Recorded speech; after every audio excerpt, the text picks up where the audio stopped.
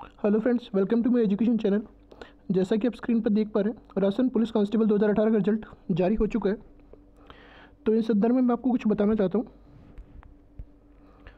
Rajasthan police constable result 2018 अपनी आधिकारिक website police dot Rajasthan government dot in पर जारी कर दिए गए हालाँकि अभी काफ़ी ट्रैफ़िक होने की वजह से उम्मीदवार रिज़ल्ट नहीं देख पा रहे वह वेबसाइट खुलने में काफ़ी दिक्कत आ रही है।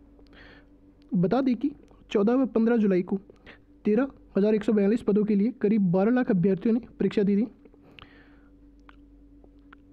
जनरल ऑफ़ पुलिस रिक्रूटमेंट प्रशाखा माथुर ने बताया कि राजस्थान सिपाही भर्ती की लिखित परीक्षा के नतीजे घोषित कर दिए गए।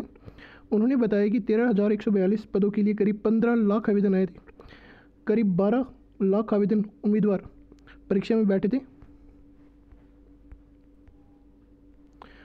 राजस्थान पुलिस कांस्टेबल भर्ती में भाग लेने वाले उम्मीदवारों का इंतज़ार खत्म हो गया।